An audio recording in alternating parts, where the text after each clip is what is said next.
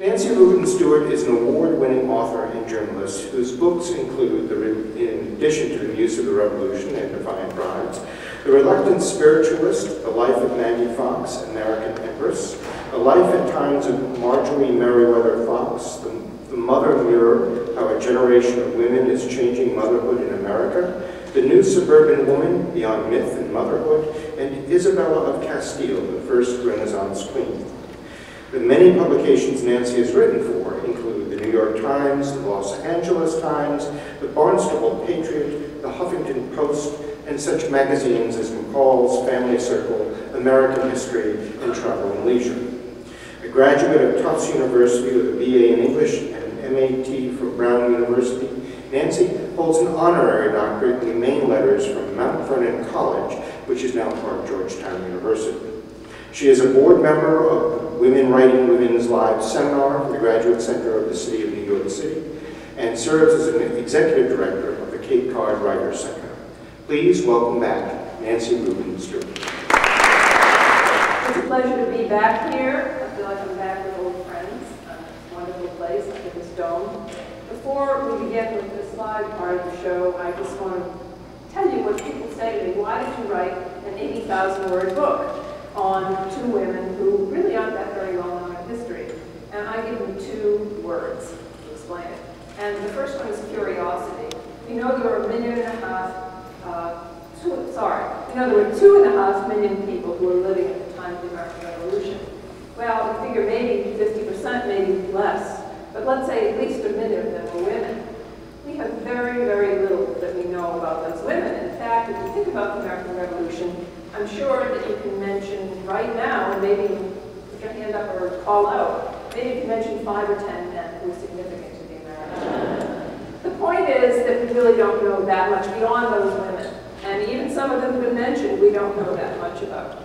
Um, so what happened to them? Here we have at least a million women.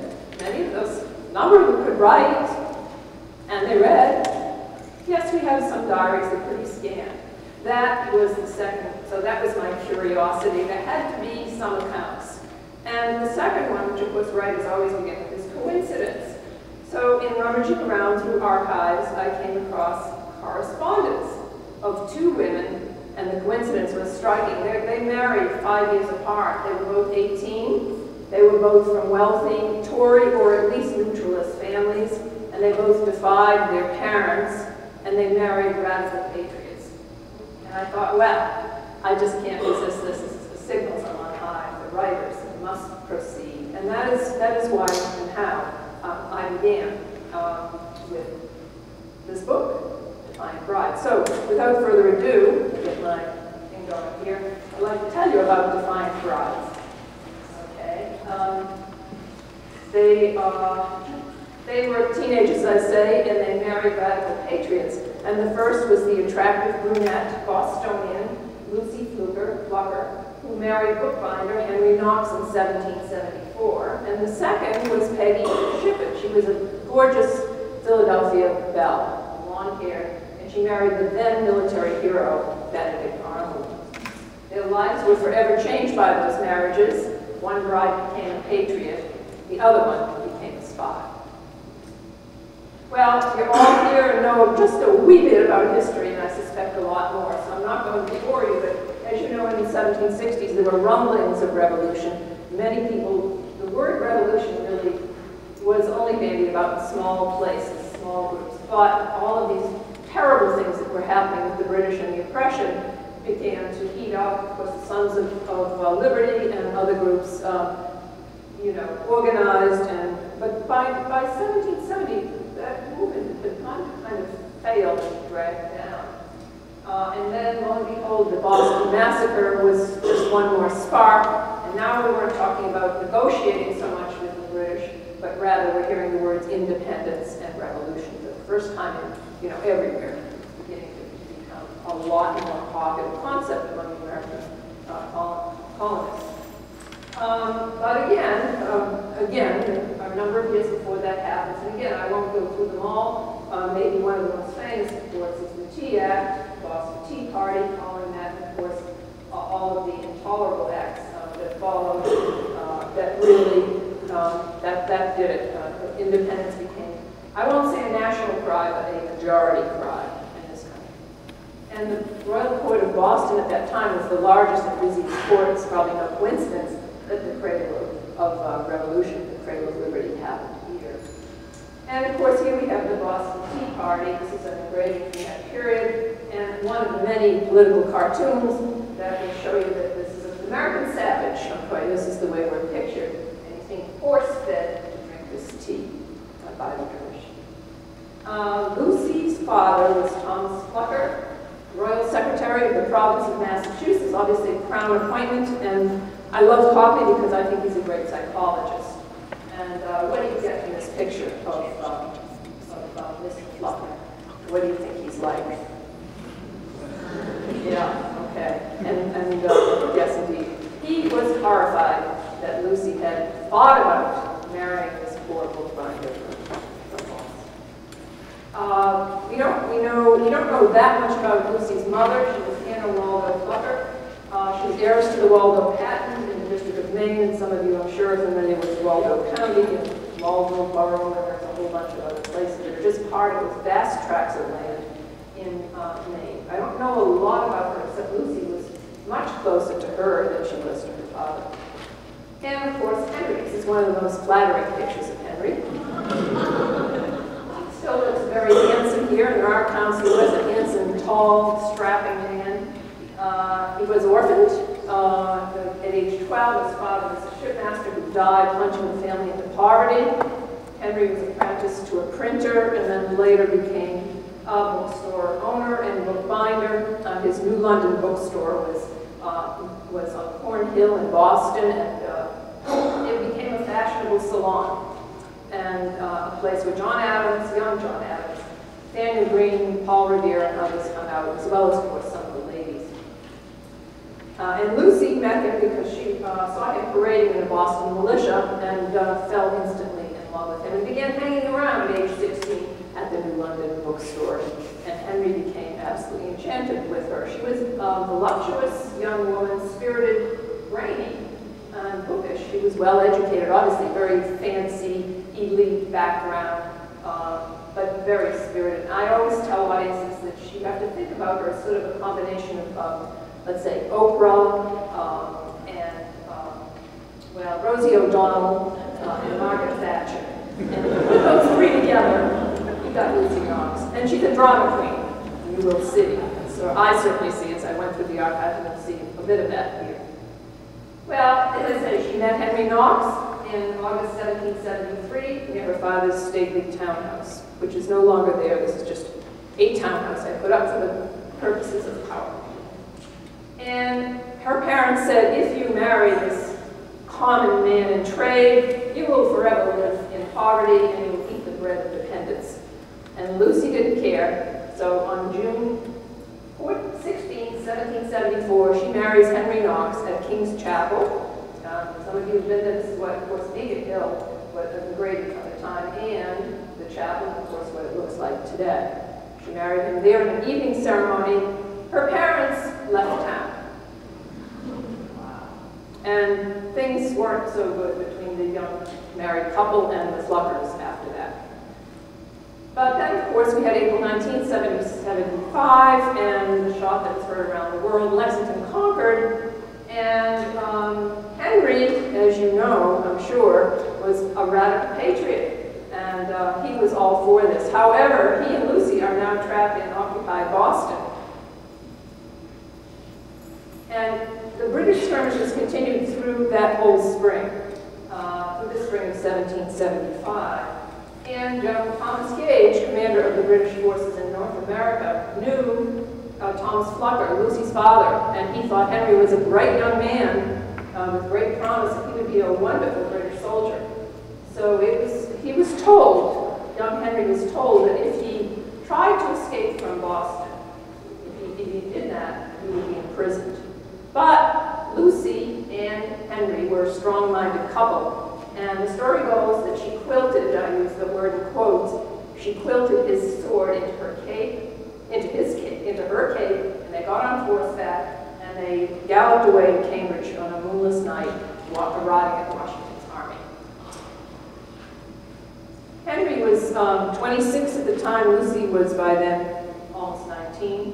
Uh, Washington became very impressed with Henry because Henry didn't have his books from his bookstore, but he was a great reader, self-educated, uh, and had many, many books on British armaments and fortifications and gunnery, and he, he didn't have them, but he remembered them. He was very clever, and so he began to design fortifications and some armaments and some strategic barricades and things, both at Bunker Hill, although that's not played out very much in the literature I've read, but particularly in Roxbury to sort of keep the British from going any further. And Washington inspects them, becomes very impressed with Henry, and um, by, by October of 1775, he's made a colonel in the army, the youngest in the Continental Army, quite young actually, anyway. Lucy, of course, um, Lucy uh, has been living in a safe house in Watertown. Her parents are not writing to her. She keeps writing to them. She never hears from them, and she has not seen them since Lexington Concord Bay, well, since they escaped from Boston. And she's heartbroken. Uh, and also, she is pregnant. Of course, they have no money, absolutely no money. She does come in the fall, and I don't know where, and I wish I did, Jim, uh, here to, to Worcester. There were many, many, uh, as you know, not just Isaiah Thomas, but many, many uh, other patriots who fled Boston, fled the area, and, and especially women, and came here um, to be in a safer area away from. So she lived here for quite a while. I'd love to know where. Uh, a much later picture of him. And I think still rather flattering from the records that I've read. Henry at one time gets to be 290 pounds. But anyway, this is a much later picture. Gilbert Stuart, done in 1803. And of course, we have the cannon because he becomes the chief of artillery. He becomes absolutely Washington's right-hand man. Washington, is very, very friendly. Uh, and of course, Washington and Martha uh, and Lucy and Henry become very good friends too. Well, Washington has a little chore for Henry uh, now that he's colonel, and that is to go up to Ticonderoga, where the British have been defeated, and get the guns. And you know the story. We all have read it in high school and probably read it again 14 times. Uh, but he does. It's a famous uh, trudge up there, and there's no snow, and it's not. It's muddy, and he can't get the sleds to go, and they finally gets cold enough and they pierce the ice to make more ice. And pretty soon he gets uh, oxen teams and, and patriots up there. And of course, this is a much later picture of bringing those guns down. Um, 43 cannon and 15 heavy guns um, right down Massachusetts Avenue. Um, now, as I say, they, they are a wonderful love story. They really are. They write passionate letters to each other throughout their lives. And um, Lucy, of course, is always wishing to be with Henry. She does not have family anymore. She's always living in somebody else's house or in a safe house. But Lucy's an elitist. You have to remember she grew up in a fairly affluent situation and is not too happy about mixing with other people ever. This never changes for Lucy, but most of all, she wants to be with Henry. He's her love. And she always, she writes to him, her letters, their letters are very touching. He's always in my thoughts. Uh, his, his image is deeply imprinted in my heart. Uh, he was a man in one moment here but I don't mean to be punny, lucidity. And, and uh, she says, whom I love too much for my peace. So she's always worried about him, but she thinks, well, maybe she should be more of an independent person. And Henry, Henry's charming. Henry is brave, smart, gregarious, intelligent. There are some things about Henry that are less than attractive, which I'm not going to go into now. but um, he, he's almost universally loved everywhere. There are wonderful comments uh, from all of the army and from the French uh, who come and help. Uh, it goes on and on. But Henry is, is a great lover, and he, he, he has one problem, and that is he's torn. And this is his signature problem throughout the, the revolution, the eight years of the revolution. I wish to render my dear country every service in my power, he writes. It's just typical. This is one of many of his quotes uh, its only objection, as he writes to Lucy, it separates me from thee, the dear object of all my earthly happiness. He calls her the charmer of his soul, and you know, beautiful, beautiful expressions. well, on the way to Ticonderoga, at the bottom of Lake Champlain, oddly enough, he's courted with a British prisoner named John Andre. John Andre was a, a brilliant 27 year 27 year old who'd been captured by the British. He was a ferocious warrior who was uh, actually educated partially in Geneva, partially in England. Uh, charming, um, urbane. Uh, for a while, we had a famous love affair with a British, um, well, not very well known British poetess. And anyway, he and Henry are sort of quartered together because there are not too many lodgings uh, up north at this point. And uh, they discover, even though they're on different sides of the, war, they have a lot in common and they talk about literature, business, and arts. And we're going to come back to that later. I think you know this man. Uh, Benedict Arnold was a New Haven apothecary, uh, kind of self-made, um, traded in the West Indies, became rather wealthy, um, and became a hero of the Revolution. Uh, he fought at uh, Montreal Quebec. Quebec, he was seriously injured, his left leg shattered, um, but eventually recovered. He funded all of his soldiers. He clothed them, he fed them, he uh, supplied the money for their armaments. He, he thought Congress was going to repay him for all that. Uh, famous battle at Valcour Island in Lake Champlain, a brilliant strategic, well, escape and really defeat for the British there. Uh, some of you with military history know, know about that. And Ridgefield, Connecticut, and in Saratoga. Now, in Saratoga, he defied Gates. He led forth very aggressively uh, a, a bunch of his men, and actually he was sort of the key for how Saratoga became uh, the turning point of the revolution, the victory. The problem was, in the midst of that very ghastly battle, he again was seriously wounded his leg. Horse had fallen on his leg before, this time his leg was crushed. Um, and he was put in a, a, military hospital for five months. And if you read about it, he's in this funny wooden contraption, this contraction. The doctors had wanted to amputate, but Arnold said no. And so by the time he healed, and it took him several years, he was walking with a limp because one leg was shorter than the other. Uh, and his health was, was in very, rather curious for a couple of years after that. Anyway, he also had a bit of a grudge at this point, more than a bit of a grudge, against Congress, and he began to wonder, even after that, maybe those five months in the hospital and what happened afterwards. No money coming from Congress to reimburse him, and his fortune, when his health was ruined, he was a cripple. He began to wonder whether the revolution was worth it.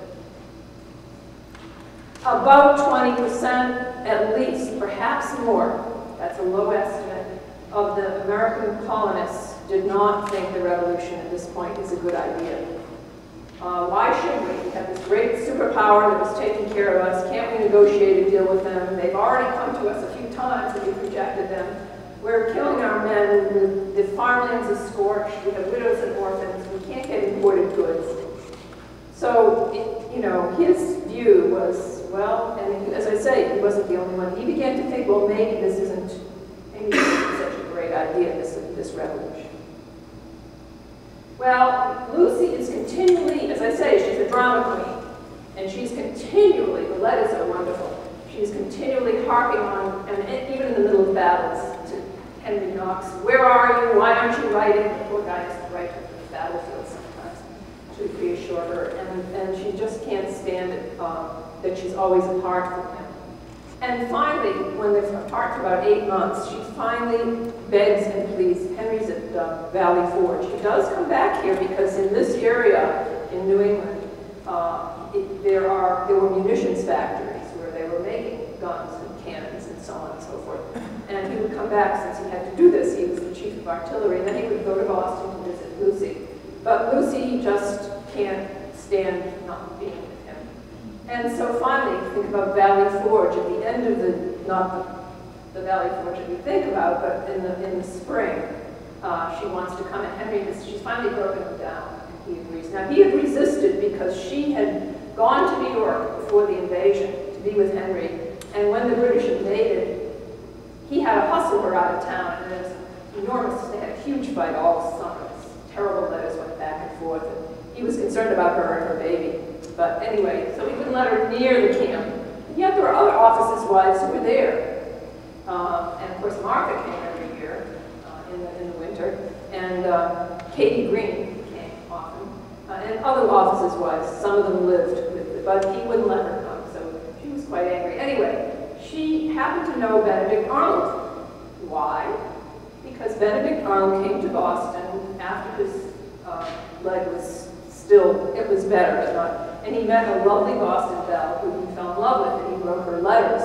And, but Lucy was the socially connected one, the elitist. And so he used Lucy as a matchmaker. Uh, but, the, but the affair fizzled, and the woman never married her. Anyway, he kind of owed her a favor, and since the generals knew each other, or the high-ranking officers knew each other, he agreed, probably through Knox, that he would, since he couldn't ride a horse anymore, because he was still so injured, he would take Lucy from New Haven to um, Valley Forge in May, late May, um, and uh, she would be reunited with Henry. And she was. Why did Benedict Arnold want to go to Valley Forge? Because Washington had summoned him. Washington didn't know how really badly injured he was. He thought he was better. He wanted to put him right back in the field as a field commander. I should tell you, Benedict Arnold was very angry also because he is not made a major general for a long time, and younger men are who haven't fought as many battles, battles and haven't done as much. So he thinks it's, it's Washington's fault. Of course, Congress said, well, we have to distribute the generalships throughout the colony states, just evenly. So when Benedict Arnold is finally made a major general, they do not announce it publicly. So Benedict Arnold is simmering, and of course, who does he blame? Washington. He thinks Washington has not stood up for him. Now, Washington adores Benedict Arnold. He thinks he's famous, his, his favorite fighting general, brilliant man, brilliant strategist, which he was, and a great leader of men. His men are always loyal to him when he's in this country. Uh, but Arnold arrives at Valley Forge with Lucy. Lucy and Henry are happily united, and Arnold meets with Washington, and, and Washington says, well, it's time to put you in the field, and he says, I can't ride a horse. And so Washington knows that, that uh, Philadelphia is going to be uh, evacuated, and he said he needs a peacekeeper there. First there the Patriots were there, as you know, in the beginning. Then there were the British were there for almost nine months. And now the Patriots are about to come back in. Many people have fled. There are food shortages. The buildings are destroyed. The politics are confused. The Quakers, of course, are remaining uh, sort of neutral. Things are pretty bad in Philadelphia. He needs a peacekeeper. So he decides he will appoint Arnold as the peacekeeper, the commandant of Philadelphia. Uh, during that British occupation, Wash, uh, dour Philadelphia becomes a playground under the British. The British use that winter for R&R and more. They, uh, they make it into a miniature London. They have uh, balls and galas, they open theaters, uh, drinking clubs, more taverns, uh, gaming, uh, horse racing, brothels, and the girls, the girls have been so deprived, the patriot girls, uh, flocking around these handsome and well-to-do British offices are given beautiful gowns that are imported and all kinds of things. Of course, the Quakers are horrified. Well, among the young ladies uh, is Peggy Shippen. And this is an exaggerated picture. Andre's been freed. He's now um, uh, sort of the social director of the British offices. And as I said, he's, he's uh, charming, erudite, he's a bit of a playwright and uh, maybe a bit of a dandy. Some historians thought these two were um, romantic because he does escort her uh, to balls and galas and dinners and whatnot. But uh, it, and she does have a lock of his hair, independent, that she keeps. We found in her effects at the end of her life. Um, but they're really just friends, and he's friends with many people in the social circle. He's a flirt. He does have a girlfriend, though, who is Peggy He's also an artist, as I say, and this is his rendition of Peggy at the Meschianza uh, when General Howe is about to leave, which is a grand extravaganza, 24 hours of party uh, on the water, in the state, and everywhere else in Philadelphia. There's huge expenditures of money. And Peggy, along with some of the others, who's one of the youngest, she's only uh, 17 here, not quite 17, is, is one of the people who's supposed to be decked out like a lady in a Spanish harlot. Spanish uh, harem, and I'm sorry, it's in, in a Middle Eastern or Turkish harem, this is supposed to be rather risque, this, this dress, and this is supposed to be a, a harem headdress, a turban. Um, anyway, uh, it's a bit of a, here she is involved in this, and it's a pageant, uh, you can read quite a bit about it. This gets her in trouble later on. Anyway, the British evacuate Philadelphia, 1778 June, and Washington, as I say, appoints Arnold the commandant of the city. For Arnold, he says, well, it's a good deal. He gets to keep his army post. He also gets to be a person who can set himself up as important as he loves to be important. He gets the best house in Philadelphia, the Masters-Penn Mansion, later becomes Washington's headquarters, and he decides to skim off some uh, British goods and other illegal things before they get to the open market and make himself back some of the money he thinks Congress owes either, because he does play both sides of the fence. He's a, quote, neutralist. When the Patriots are there, in the beginning, he's a patriot. When the British come in, he, entertains them and uh, does everything he can to protect his duchy, his townhouse, uh, his position as a judge. He wants to make sure, whichever way the wind blows, he's going to make sure he and his family land feet. They're a powerful family. They've been there for over 100 years, famous in law and politics and business. And um, so we call him a neutralist. Now, of course, there are a couple of historic views of Peggy, popular views. One is that she is a sexual siren. And this is a woman who's really a Tory, just like her father. And she's the one who seduces Benedict Arnold, and it's all her. And the other one is that she's a sweet, innocent gal who is simply in love with Benedict Arnold and does whatever she needs to do.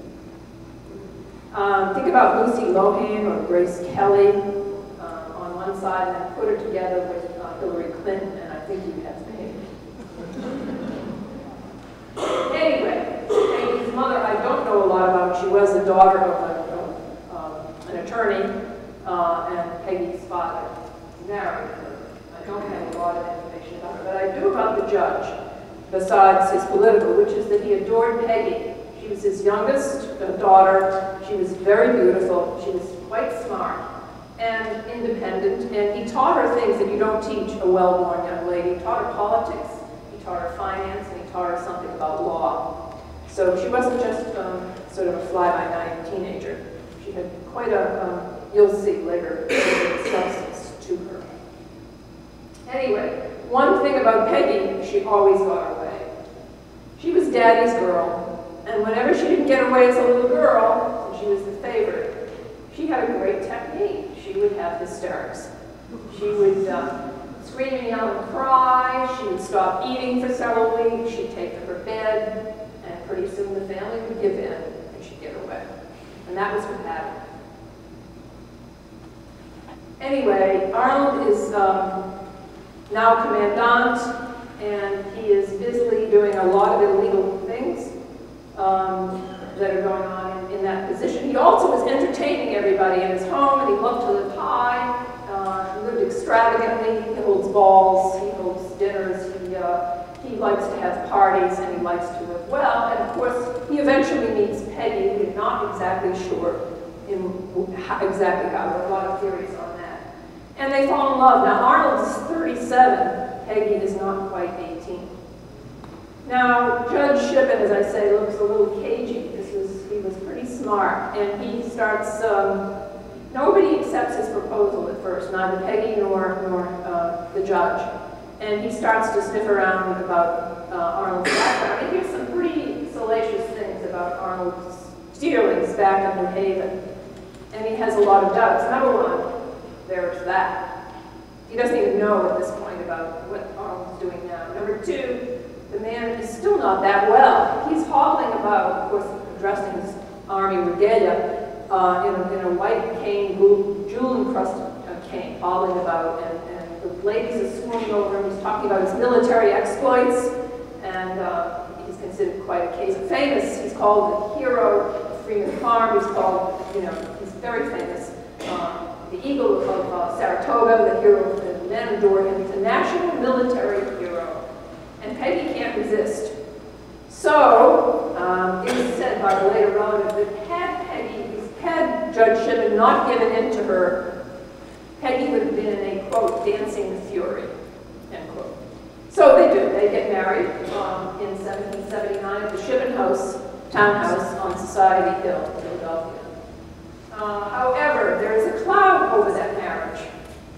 And uh, the cloud is that now the Patriots have caught, of course, we have very radical Patriots now in Philadelphia because we got rid of the British and we're going back to where we began with independence. So uh, anybody who's been a Tory or anybody who's the ladies who had socialized with those British officers all winter are suspect. Anyway, they find out that their wonderful commandant has um, been engaged in military misconduct, using federal uh, property, skimming off money, and so on. And they, um, they uh, accuse him of eight charges. Arnold was a charming man. He was smart, he was witty, debonair, good-looking, but he did not cross Arnold. So he said to uh, the Patriots, okay, let's have a court-martial and see whether I'm innocent. And so indeed there was, uh, that court-martial didn't take place for a long time, but it hung over the marriage. Uh, it, was a, it was right there. And before the marriage, when Arnold goes to Washington and said, well, let's get on with this court-martial, he writes to Peggy, and here it is, a month, just a few weeks before their wedding, and he talks about the villainous roads and the villainous men, and this particular line, I have to go back to that, this particular, this particular line, he says, I am heartily tired of my journey and also of human nature. And just part of the correspondence, but you, you understand the, he's pretty disenchanted well before the marriage. And of course the family closes ranks around him. He couldn't do anything wrong. He's this fabulous general. And as her young cousin said to Peggy, they, they just can't believe that Arnold would, be, would have done anything. What demons possess the people with regard to General Arnold? He's much abused, ungrateful monsters to attack a character that's looked up to. And that's the position the ship has taken, at least officially. And so Peggy and, and Arnold wed. But within a month of this marriage, Arnold has contacted General Henry Clinton in British-occupied New York and began to offer himself through an operative, through a spy, um, that uh, he will uh, serve as a spy for the Americans and he will do it for a price. Well, Clinton uh, is also, there are at least 500 spies that have been identified in the American Revolution. We know 150 names. I don't, the person working on that says there are ways to go with the other names. But um, he's wondering whether this Arnold is a double agent. So he's pretty suspicious.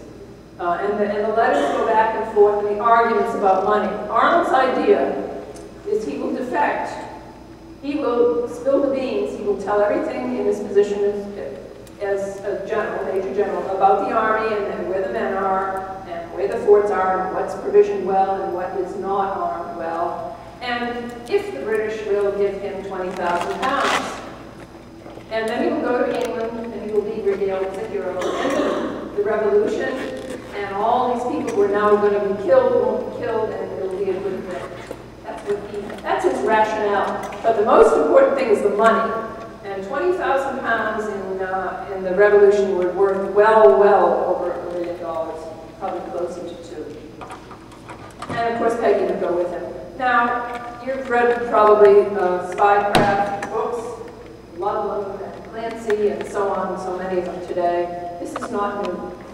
Uh, maybe we're doing it on computer, but in those days there were other things one did. And of course, one of them uh, was invisible, was uh, ciphers. So you were given, say, Blackstone's um, law book, and you were told to on a certain page, you just done this in, in cipher. And you look, and so many lines over and so many lines down, you look at the letters, piece it together, and you'll get a message.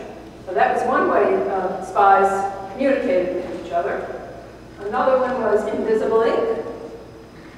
Two kinds of invisible ink. And most letters had either an F or an A. An F was if you held the letter over fire, you'll see the message. The other one was an A, you could dip it in acid and the message would come up. And then of course the third one were codes, symbols, and so on. And a fourth were, um, well, common parlance, common speech, signals. Uh, well, the old lady isn't feeling so well, which, which might have meant something about munitions. Or, uh, well, we had a bright and shiny day uh, with something, and it would, it would be a signal for something else. That was understood. So, and a lot of letters are a little, you, you don't really know which ones uh, are informational and which ones are just pleasantries. But these were the four methods. And they were all used by Arnold. He had many operatives and so on. Um, Arnold was traveling in, this, in the, um, finally his leg is better. Not completely, but almost. He's traveling in the summer of 1780, and what he wants to do is the commander of West Point. West Point was not, yes, it's a strategic fort, series of forts actually, 90 degree bend in the Hudson. If uh, the British took that over, they would cut New England off from the Southern uh, Patriots and win the war. You know, there's a chain also, you probably know this, over the Hudson. At certain points, the British ships can't go further up. Anyway, Arnold is, keeps pressing Washington that he wants to be commander of West Point, which is not considered, you know, the fabulous post for a general who wants to be back in the field. And Washington sees he's well enough to be back in the field, and he can ride a horse again. And Arnold keeps saying no. In fact, whenever it's brought up, Arnold starts limping. So there are some notes about that. Washington's perplexed. But ultimately, Arnold does become commander of West Point in the summer of 1780. I want to come back to this other because I, will tell you why I'm doing these two stories at once. I took an experiment, these two women and these two marriages. Um, Lucy, of course, has continued tirelessly to follow Henry through the army camps. Um, there are fights, there are love mates, uh, love letters, and uh, vexation when the letters don't appear on both sides. He's as demanding as she is. Um, but she does um, follow him through most of the army camps and live nearby. And one that I just actually went to uh, a couple weeks ago was, it's no longer there, famous, the Pluckemin Artillery Camp, because Knox's idea was to have a military college. This is the forerunner, of course, of the West Point Military Academy. He felt that the men were never going to win the war unless they were well-trained in gunnery and armaments and discipline and so on. And uh, so he established, here's a, all overgrown today in forest, unfortunately. But here's his cupola and his, his academy and the barracks that surround it. And he had, he had quite a, this is near um, uh, Middle, Middleburg, Middletown. And um, he, he lives in this little house, the Jacobus Vanderveer house at that time with Lucy and uh, their children. It looks bigger than it is. I was just there. It's very small. Uh, and here it is, the Vanderveer house. Now, Lucy has another child uh, named Julia. And Lucy feels so well after this, uh, after this baby is born, she goes to the nearby army camp to watch uh, a military parade for the French general. And uh, comes back, and within a few days, she is seriously ill and she turns yellow. Um, probably hepatitis, probably from dirty water, and probably from her time in the army camp. She becomes sick, the children become sick and the newborn baby dies, Julia. And there's a whole story which Michael goes into, but the larger point is that is, is only the second of Lucy's pregnancies. Lucy has 13 children. And um, 10 of them die. Yeah, uh, not, only three survive to adulthood. Now, all of them don't die during the revolution, but a number of them do. Disease, accident, and so on. And she really has a sad life, um, despite her. But she's, she's a social leader. After all, she's elite. She knows the proper things to do. She's the one who, uh, in the Grand Alliance Ball, it's a celebration um, this time, uh, Grand Alliance Ball, celebration of a year anniversary of the French Alliance. She's nine months pregnant, and she and, and Washington opened the ball, presumably with a minuet.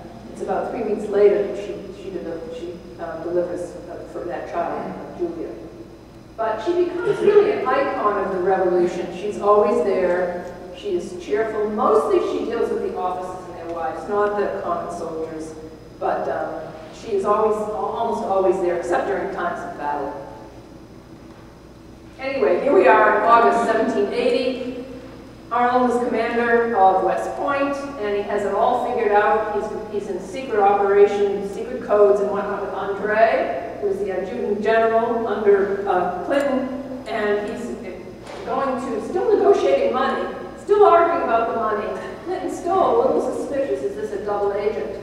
But Arnold is now prepared to give Andre, if they could only meet on the Hudson, uh, all the information he needs about West Point and armaments all up and down the Hudson, and, and he even pumps, even pumps Knox for more information. There's a couple of letters about that. And of course he arranges for, um, for Peggy to come to the home they rent, which is just south of West Point. The plan being, once he's given papers to uh, Andre, and Andre goes back to the British, and they see it's for real, they will welcome him, he will escape onto the Hudson onto a ship, he will go to New York with Peggy, and they will be regaled as hero and heroine, and collect their money, and live happily ever after. Uh, sometimes when he's traveling, he can't send those letters. And we know that Andre knew about Mrs. Arnold, but that was his old friend Peggy from Philadelphia. And we also know from some famous letters that Peggy was uh, that fourth kind of spy work that I was telling you about, the social, looks innocent, was, were really more signals. We also know she passed papers for Arnold uh, to Clinton and to Andre, that she was directly involved. Well, Andre does meet Arnold on the shores of the Hudson. Now, Clinton had said to him, three things you can't do. You cannot go into enemy territory. You as an officer cannot change out of your uniform and get in disguise.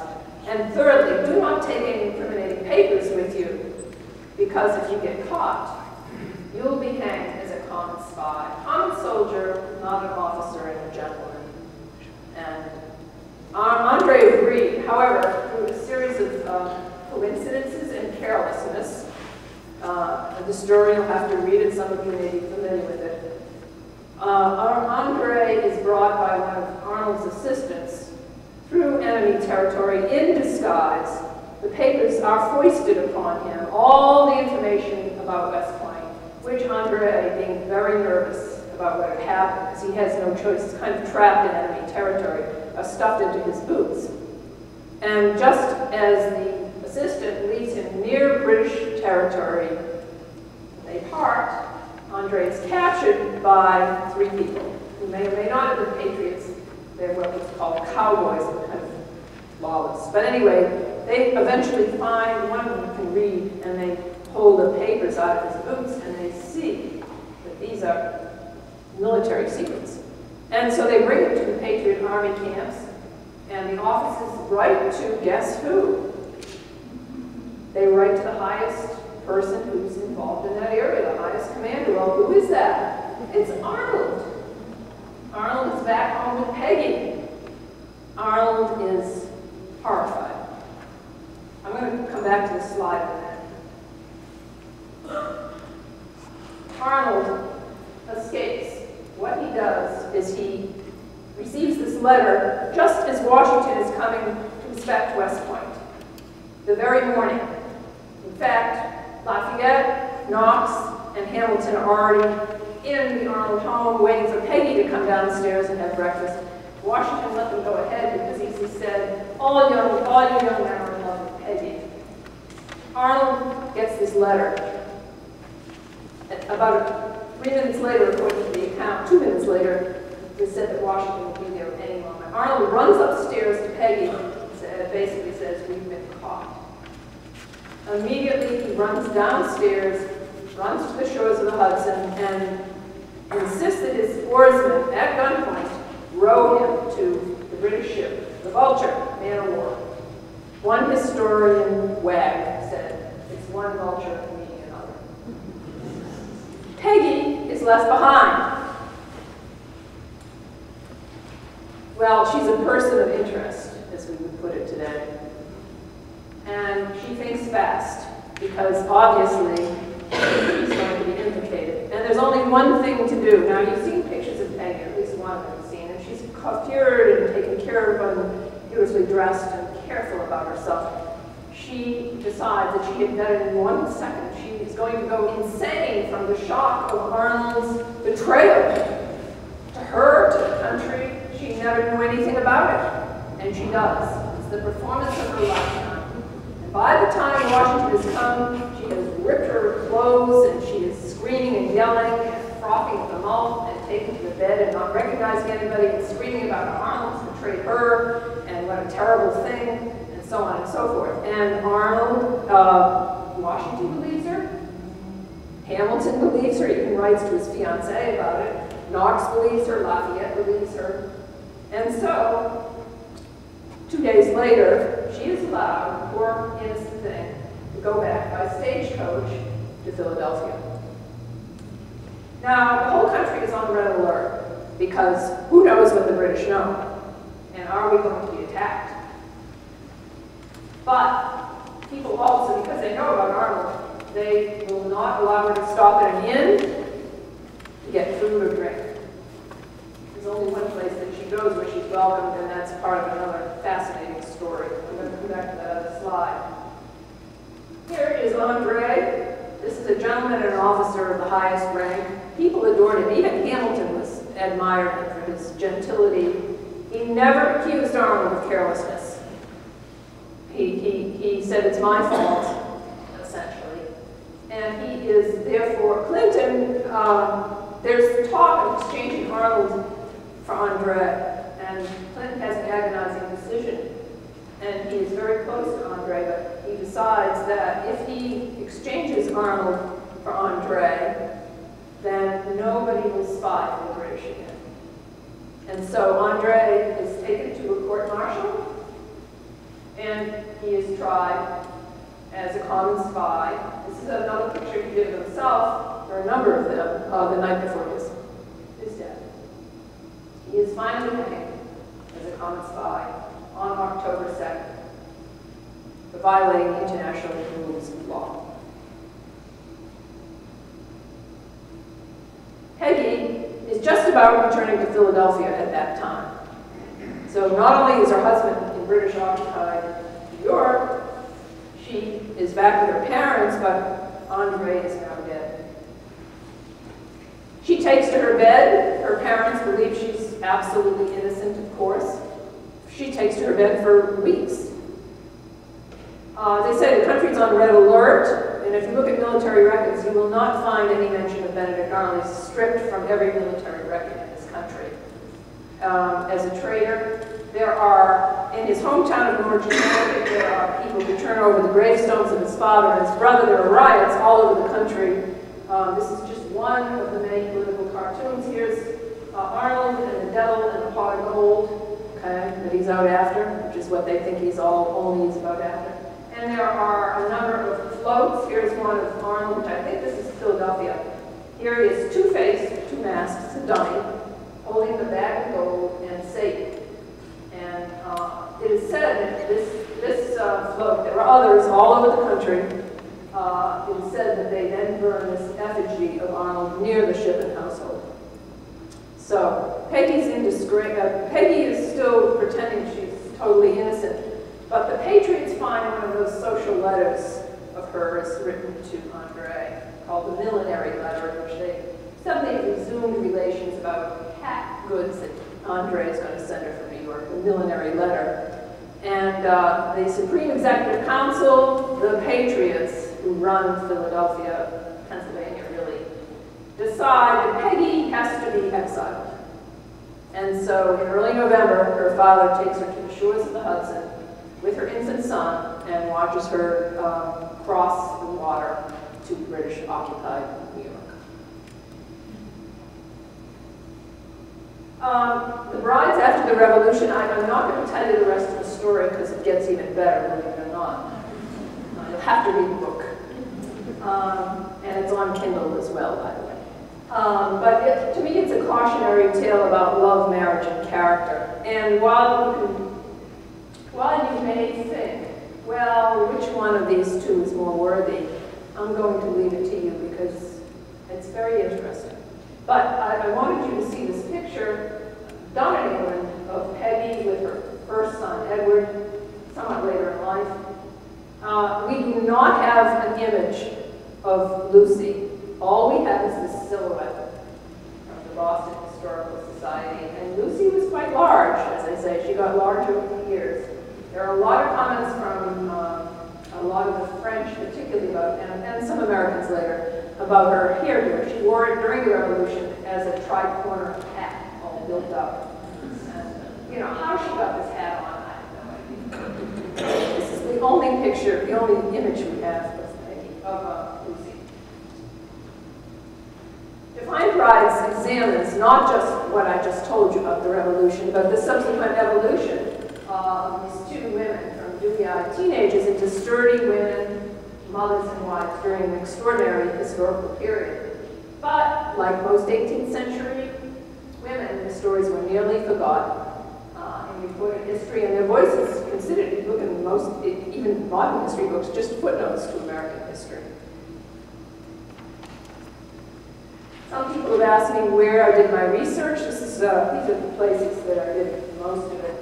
Mass Historical, Gilder Lehrman had digitized 8,500 Knox's letters, which was great. I didn't have to look at them on microfilm. It would have taken me a number of lifetimes. Uh, many letters in there from Lucy and Henry. Uh, Library of Congress, of course, has a lot of military history and a great deal of information about the, the war uh, Pennsylvania Historical Society, the General Henry Knox Museum in Maine, um, and Cliveden in Philadelphia. Uh, National Society, Daughters of the American Revolution, had some good letters between Henry and, um, and Lucy and Lucy's family. Uh, and in New Brunswick, a number of different archives there, uh, where the Arnolds lived for a while. And in England, uh, and in St. Mary's Church Battersea, which is a whole other fascinating story about the, uh, the graves of the Arnolds. I just want to leave you with one comment. And uh, Peggy, who is mad about her husband, crazy for him, sick with love for him in the beginning, writes many, many years later to her sister, marriage is but a lottery. Thank you